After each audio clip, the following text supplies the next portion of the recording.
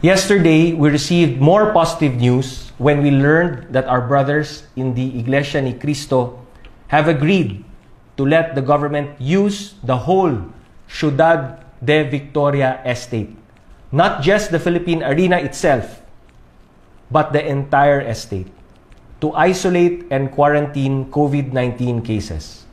So kasama po dito ang Philippine Arena, ang Philippine Sports Stadium, at ang Garden Suites.